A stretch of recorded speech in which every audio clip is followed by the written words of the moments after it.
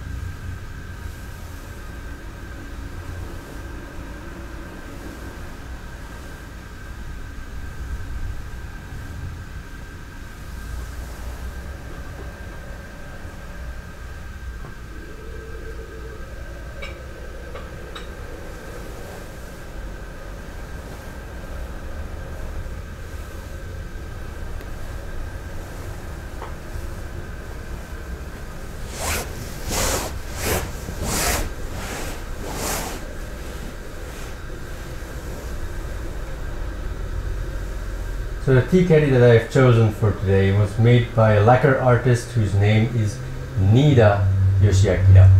And it depicts in uh, gold paint and gold leaf the house crest of the Kobori family, um, who is, well, which is the family of the founder of the Enshu school.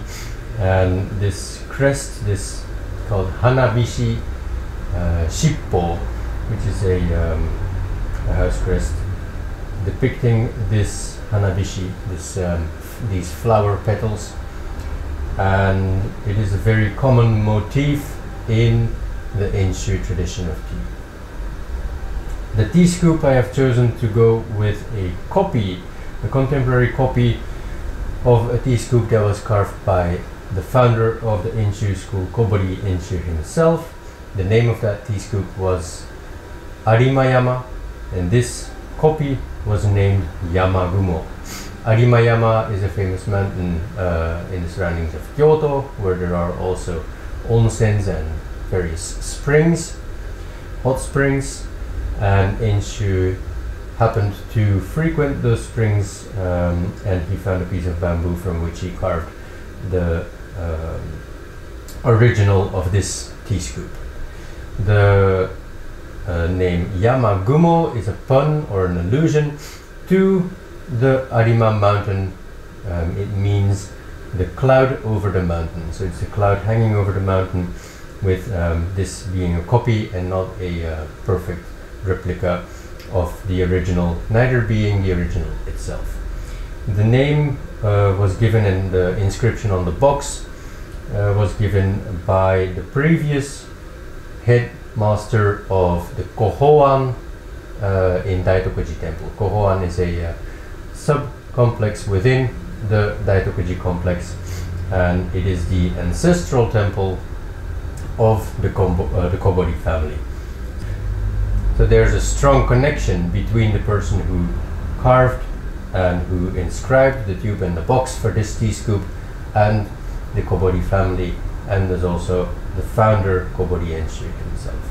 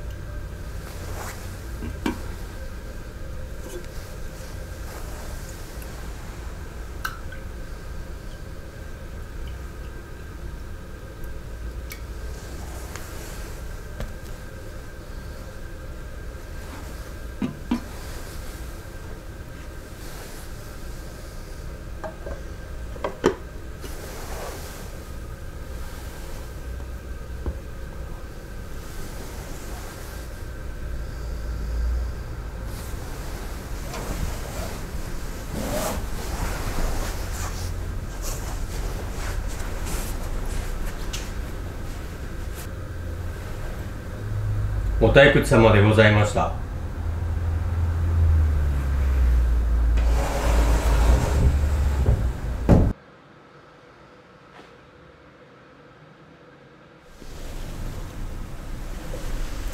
Thank you everyone for joining my tea ceremony today.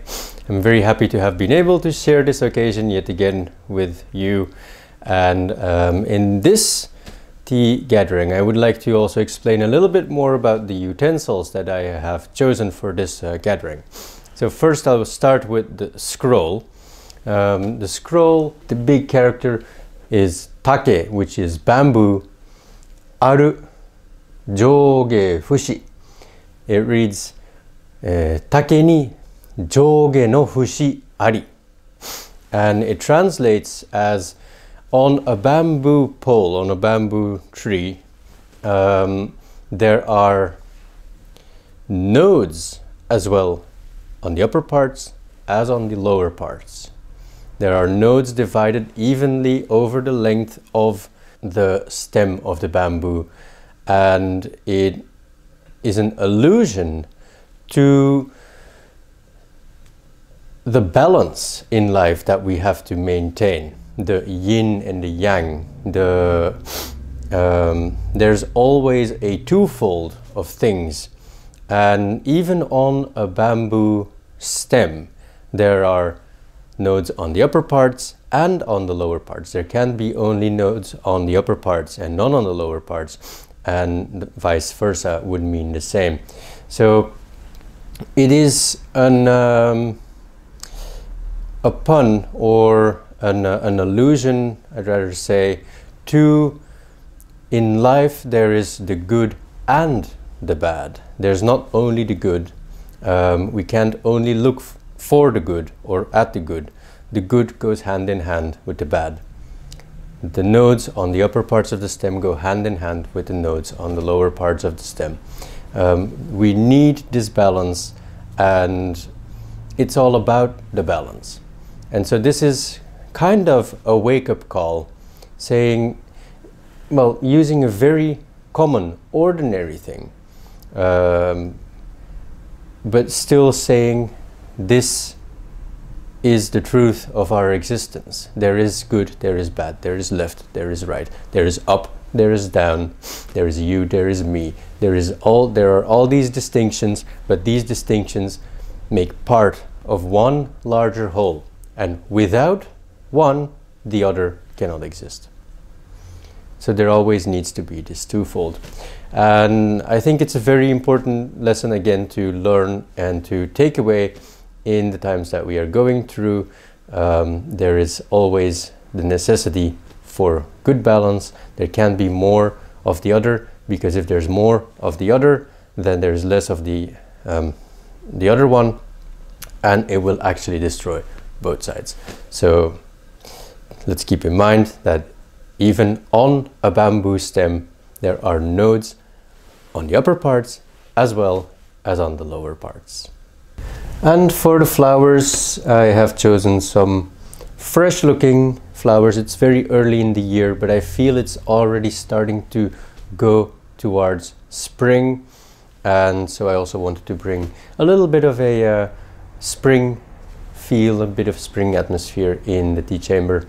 Um, it's uh, the, the flower arrangement is placed in an old bronze arrangement. And then to move closer to the uh, the Temaeza, the preparation area, I have focused this time on trying to, as good as possible, give an expression of what an Enshu style uh, tea gathering or a tea arrangement would look like. Uh, the utensils I have chosen uh, contain motifs that are favored by the Enshu school. For example, the uh, the tana, the shelf structure that I chose to put the mizusashi, the cold water vessel on. That one is an, uh, a type of tana that is common in the Enshu school because it uses uh, at least three different types of wood. There's kurogaki, black persimmon, there is matsu, there's pine, um, and one other uh, wood of which I forgot the name at the moment. Um, so, but these are also very beautifully carved out with the motif that is was also on the tea caddy, um, the hanabishi shippo, these flower petals that are uh, indicative as the house crest, house crest of the Kobori family. Then next for the futaoki, I chose to go with uh. Mubyo is um, six gourds. The gourd was also a motif that um, Enshu, the founder of the Enshu tradition, Kobori Enshu, um, very much liked next to this um, this flower petal uh, Hanabishimon uh, house crest. And Mubyo is in Japanese, uh, it, it's the same pronunciation, only the characters are different for Mubyo, which means without sickness, without disease. So this again is a pun, a word play, six gourds, basically being the same pronunciation, the same words as um, no disease. So it is in the same time a wish for a healthy life and um, to be without disease. So this was also a very suitable theme for this uh, this period, this time. Then for the mizusashi, the cold water vessel, I have chosen to go with a takatori mizusashi, which has a round base and the top is uh, square. These uh, differences in shapes are also something that is rather appreciated in the Enshu tradition. And also Takatori is one of the seven kilns that Enshu himself uh, guided and instructed uh, in regards to pottery and has since the, the time of the founder been recognized as one of the kilns that the Enshu tradition uses for its earthenware. It's glossy, it's got a glossy glaze, the colors are mostly subdued, and it's very light and very thin. On the sides it also has these uh, ears which are, which are an, uh, a nice form of decoration. Then for the tea bowl I chose a shigaraki piece from Nishio uh, Kosen who is uh, active in the Shigaraki area and he makes copies of several traditional tea bowls and this one was a copy of a tea bowl called uh, and it's in the motif of an um, well of the, the the head on a persimmon. The persimmon always has these leaves on um, on on the top of them. Um, it's for the color for the shape in similarity to that. Uh, Kaki no Heta, um, the name of the original tea bowl is Tatsuta, and so it's a copy of that uh, bowl.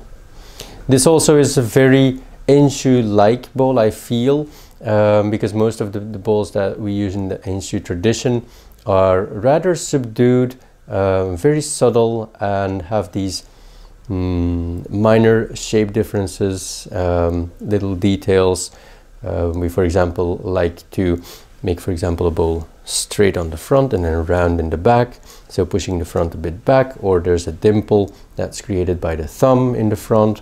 Um, there might be a little bit of a cutout. So the shapes are also always um, slightly refined and somewhat uh, unique opposed to what other schools like to use. So I see this very subdued, very um, calm, also lightweight, very th uh, thin on the edges uh, bowl as an, a typical Enshu style bowl. And so then I've um, concluded the uh, setup, the arrangement, with two other items that also reflect a lot of what the Enshu tradition is like. Um, the tea caddy, which um, had the motif of the Hanabishi house crest of the Kobori family in a very beautiful uh, lacquered and gold work. And then uh, the tea scoop, which was uh, given a name and an inscription on the box and the tube for the tea scoop by the previous uh, headmaster of the Kohoan temple in the Daitokuji complex, which is the ancestral temple of the Kobori family. The piece was a copy of a tea scoop called Arimayama that was crafted by Enshu himself and this contemporary copy is an, uh, a copy of that tea scoop but has a name that is uh, an allusion to that original tea scoop's name. Um, it's Yamagumo, the mountain cloud. So I hope you enjoyed today's tea ceremony. Um, I'm very happy that I've again been able to share this with you and I've also tried to give a bit more information about the utensils that I've chosen. Uh, it's very fun for me as well to be able to choose a theme, choose a few things to talk about and share that information then after the gathering with you as well. So I hope to continue doing this more in the future and in the meantime I will um, leave you here. If you want to be updated of more videos, um, click the subscribe button. Also click the bell so that you get notified of new updates. And I will be happy to seeing you in another video again soon. Thank you for watching.